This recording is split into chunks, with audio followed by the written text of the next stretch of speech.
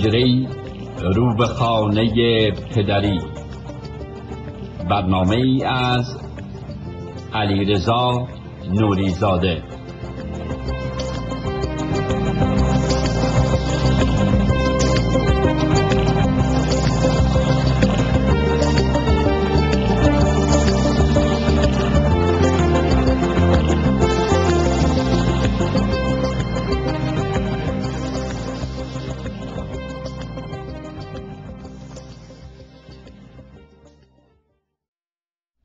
وقتی که شهرزاد در بامداد شام هزار و یکم لب از سخن فرو میبندد و آفتاب عمرش بر بام می نشیند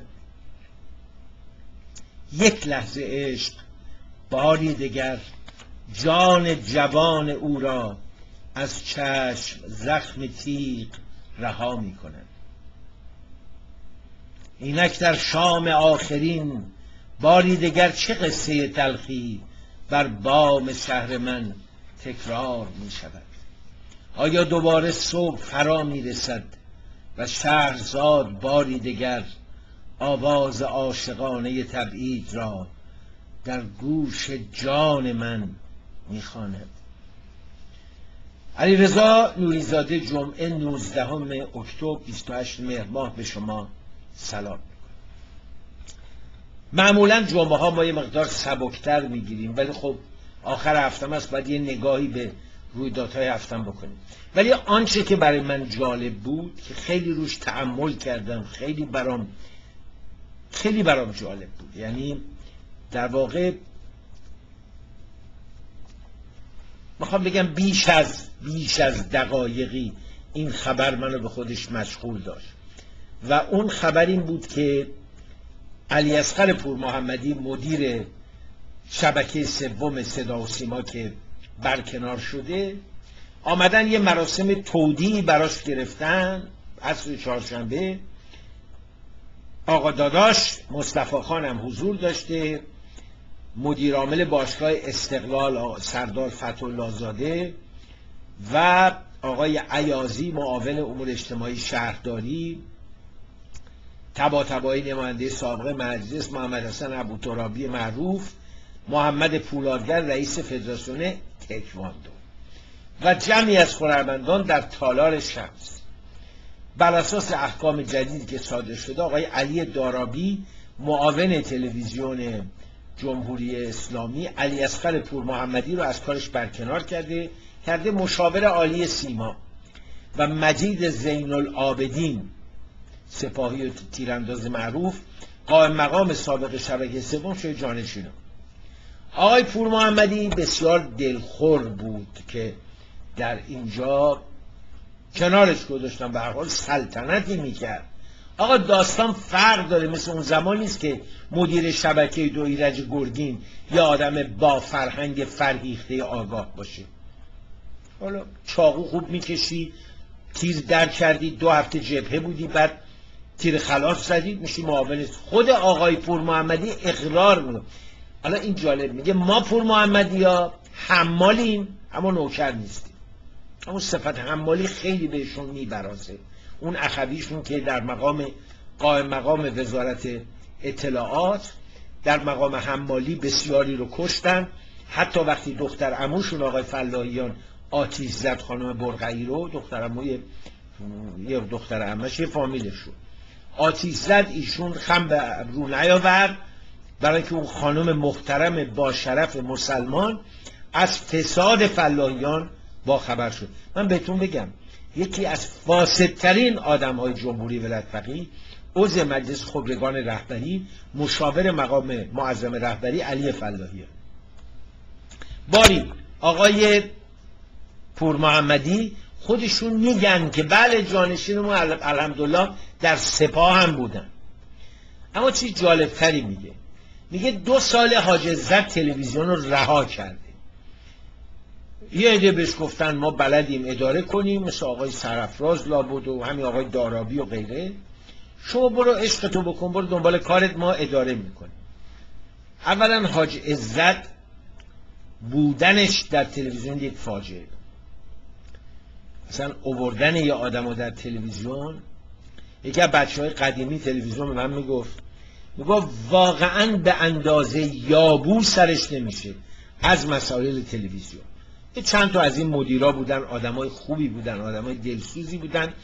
چیزی هم می‌دونستن. خب یه وقت یادم جمشید چالنگی اون اوائلی که مرحوم قدسزاده مدیر عامل رادیو تلویزیون شده بود بچه های قدیمی جمع می شدن یه مشتم از این بچه شیخ ها با تصویر اومده بودن. بعد آقای بهشتی که بعدا رفت سازمان تشکیلات هنری سازمان تبلیغات را انداخت و غیره ایشون هم از اول علاقه داشت و می اومد و چون موهای بور میذاشت سرش رو اینا هرپیس بور میذاشت و اینا یه قیافه متمایزی داشت در میان بقیه. به بچه آخوند و اینا نمی‌خورد. برا بر آدم بدی هم نبود. خیلی هم سعی می‌کرد کمک کنه به هنرمندانه. ولی جمشید توی جلسه خیلی بهش برخورده بود که این حرفایی که اینا می‌زنن. اون کرده بود یکی از اون مدیرانشون تو آقا این کاری که شما می‌کنین مثل اینه که شما یه حکم بدید.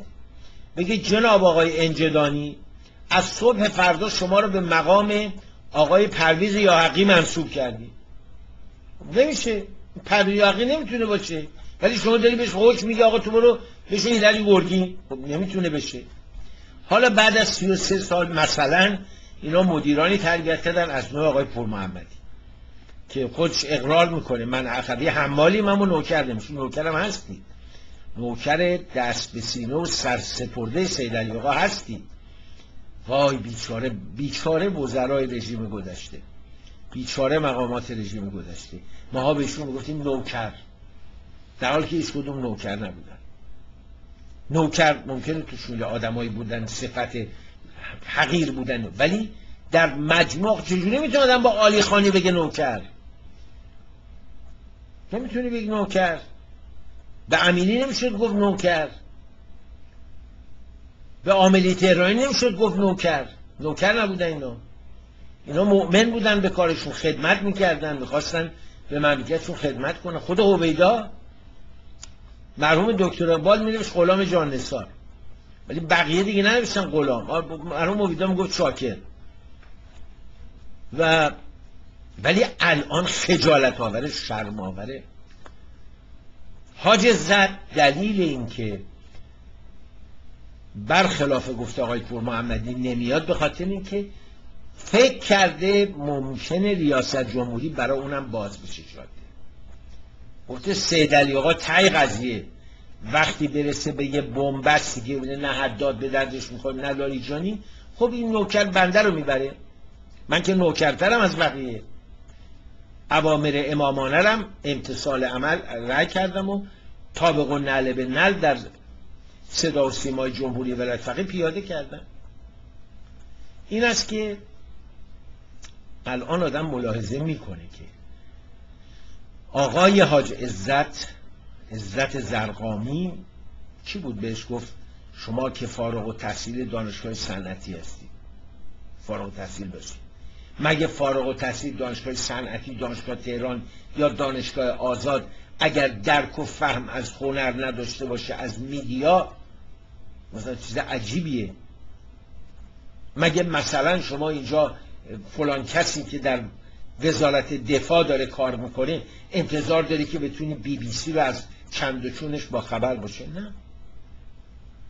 حاج عزت هم باید می‌رفت کار خودشو می‌کرد. تو سپاه می‌رفت کار خودشو می‌کرد برنامه خودشو داشت. مثل معاوناش مثل آقای سرفراز مثل آقای دارابی مثل آقای زین الدین مثل بقیهشون. زین العابدین هر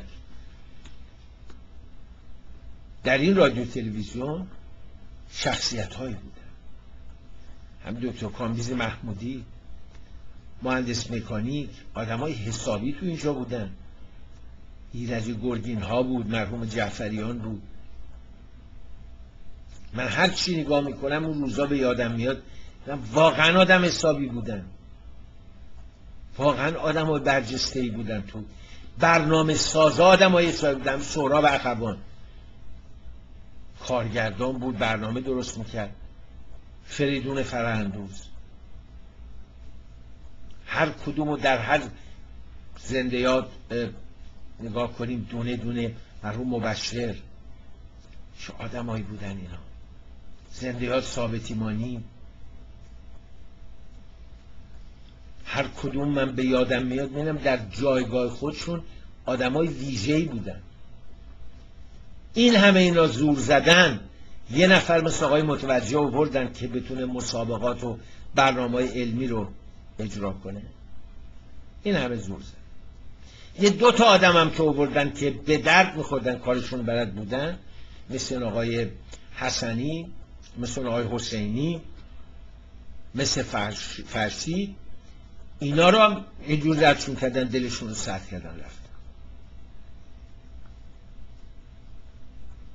و امروز من وقتی نگاه می‌کنم بعضی از برنامه رو می‌فهمم چرا شما بیزارید از صدا و سیمای سید علی آقا. معلوم آخه همش دروغ فریبکاری. برنامه کودکان دارم پخش می‌کنم همش دروغ.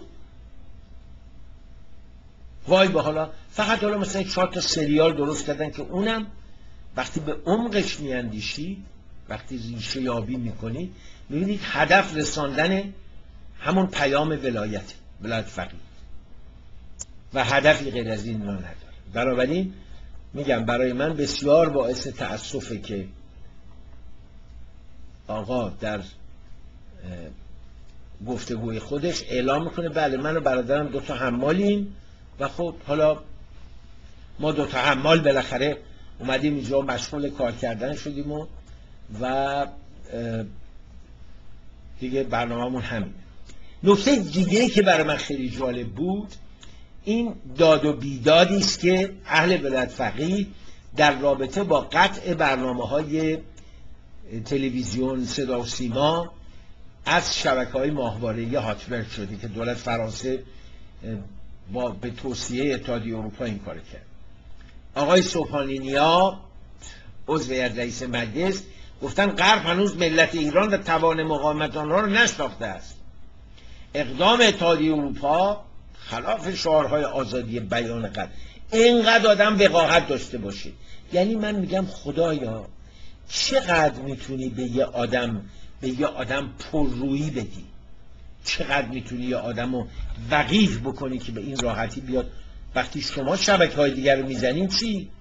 وقتی شما کانال یک رو می‌زنید صدا آمریکا رو می‌زنید بی بی سی رو می‌زنید روزلت رو می‌زنید پارس رو می‌زنید شما چی؟ شما می‌تونید همه کار بکنین اما بقیه حق ندارن مقابله به مصر بکنه. من این وقاحت رو خب طبیعتا در نظامی که سر تا پا دروغه سر تا پا فریبه چنین وقاحتی هم طبیعتا پذیرفتنی است. نظام غیر از این هم نیست. یه مقاله میخوندم از فهم این سخن حالا جمعه است دیگه جنگش بکنیم. در رابطه با مقاله‌ای که آقای بابک داد نوشته بود و در اون گلایه کرده بود از مردم. خیلی از ما این گلایه ها رو در دل داریم بر زبان نمیاریم. بابک داد بر زبان برده بود. گاهی اوقات منم اینجا یه دفعه از دستم در میره میگم بابا همیت غیرت فلان. مقاله فهمیم سخن منو به تعمل واداشت. خیلی قشنگ اشاره کرده بود که ما عامل صبر رو در محاسباتمون نمیاریم حساب نمی کنیم مردم ما عجله ندارن. به معنای دیگه مردم ما نمی‌خوان مثل سال پنجاه از چاله در آن به چاه بیفته با حساب کتاب کار می‌کنه به دقت. اگر حرف آقای موسوی یا کروبی رو نمی‌زنن اگر شعار بازگشت به دوران طلای امام رو بر زبان نمیارن اگر اجرای بدون کم و کاست قانون اساسی جمهوری ولایت رو نمی‌خوان و کل رژیم رو می‌خوان بره خود مردم هم زمان یا توقیت رو انتخاب قشنگ بود مقاله سخن.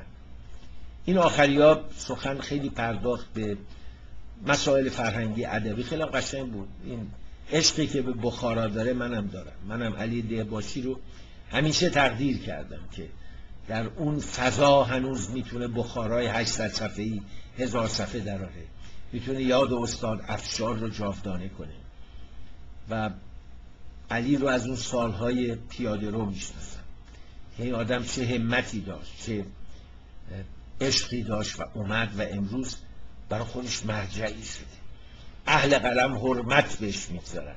چقدر قشنگه. و دلم می‌خواد سخن بیشتر بنویسه. دوست دارم بدون که بشناسمش تو دلم جا گرفته و در این سالها همیشه خواننده نوشته هاش بودم که همیشه کم برابری آدم تشنه است می‌خواد دنبالش بره. جزو کسای غنایمی که من در این سالهای عمر فکر می‌کنم در غربت به دست آوردم یکیشم آشنا شدن با یک چهره ناشناس با عنوان ف. م. سخن که بسیار زیبا می نویسه و principle های یا اصولی رو رعایت می‌کنه که در کمتر کسی دیدم به همین دلیل خیلی برای من قابل احترام. در بزنگاه هایی از خودش با یک جمله با یک تعبیر نشون داده که پایمرد و پایبند به پرنسیپ ها و اصول هست. بله این جالب بود برای من این نوشتهش همه ما رو به تعمل وام که آقا مردم رو دست کم نگیرید اونا خیلی قشنگ دارن حساب می‌کنن.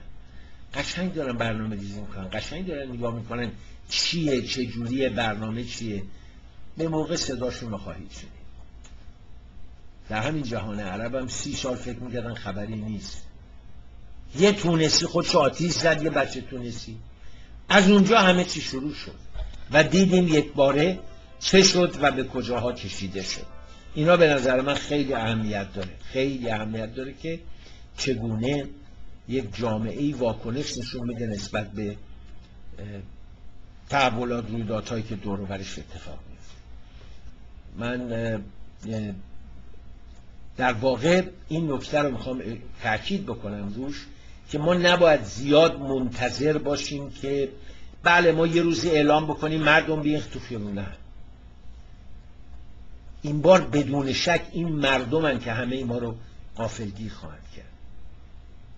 هیچ کس تصور نمی‌کرد. در سوریه این اتفاق بیفته.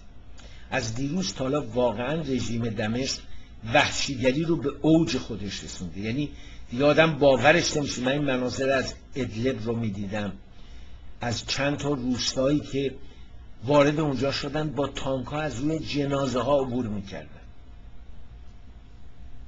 امروز هم در بیروت در محله اشرفیه بمبی منفجر شد. در نزدیک یک بانک یا بانکی که کنار مقر گروه 14 مارچ بود. معلومه دیگه حزب الله و اوباش جمهوری ولایت فقیه جمهوری ولایت بحث سوریه پشت این کارها هستن وقتی وزیر سابق لبنانی آقای میشل سماهه نماینده مجلس 26 تا 24 تا بمب از سوریه میاره که همینجا توی مناطق مختلف بذاره رهبران رو بکشه. وقت می‌تونیم تصور کنیم سوریه چه طرحی برای لبنان داره. آقای اخسر ابراهیمی هم را افتاده در منطقه. اردن رفت عربستان رفت جمهوری ولایت فقیه اومد عراق رفت لبنان رفت و حالا داره میره به سوریه. به این امید که یک آتش بس چهار روزه برقرار بکنن در روزهای عید قربان. میشل کیلو نویسنده متفکر و مبارز سوری که سالها در زندان پدر و پسر حافظ و بشار بوده امروز در مصاحبه می‌گفت آتشبس به چه معناست؟ آتشبس باید داشت که مردم به خونهاشون برگردن. ده هزار صدها هزار آدم به خونه هاشون برگردن. به خونه های ویران حتی برگردن. اید رو در خانهشون جشن می‌گیرن. خیلی اسباب تأسفه که یه رژیمی به قیمت نابود کردن کشور برای بقای خودش حاضره که دست به چنین جنایت هایی بزن بعضی ها میگن آقا از کجا معلوم جمهوری اسلامی این کارو نکنه؟ بعید نیست. ولی چون ایران خیلی بزرگتر از سوریه چون احزابی داریم که قادرن در مناطق خودشون جمهوری اسلامی رو خورد بکنن اون زمان همه ملت ایران دست در دست هم یک پارچه می توانند مانع از این بشن که رژیم قبل از رفتنش ایران رو ویران کنه چنان که بشار سوریه رو ویران کرد. شما باورتون میشه حتی مسجد عمویه حلب رو داغون کرده. یعنی یعنی اصلا براش مهم نیست. آثار تاریخی همه از بین رفته. میخوندم که در مغرب سلفی ها رفتن آثار منقوش بر کوه رو خراب کردن. این اسلام ناب همینه. اسلام ناب در دو بخش سنی و شیعش جز وحشیگری جز ضد انسانیت و ضد اخلاق و ضد تعالیم دینی نیست. خود پیغمبر اسلام افتخار می‌کرد در اصل پادشاهی مثل کسر و انوشیروان به دنیا آمد. و تمدن ایرانی و رومی براشون قدوه بود براشون مثال بود. ولی امروز اونایی که مدعی جانشینیشون هستن موزه های عراق و غارت می‌کنن در عدن میرن تمام زری و هرچی از نابود می‌کنن. در افغانستان مجسمه بودا رو تخریب می‌کنن مجسمه هزار ساله رو. و در مغرب نقوش تاریخی و در مصر هم میگن اهرام رو باید برداشت. خدا رو شد که اینا اومدن دونه دونه معلوم شد چه هستن. بعد از درنگ کوتاه با توجه به اینکه آمریکا 12 میلیون دلار جایزه گشته برای دو القاعده که در ایرانن میام راجع به روابط جمهوری بلد فقیر القاعده صحبت خواهم کرد. با ما باشید.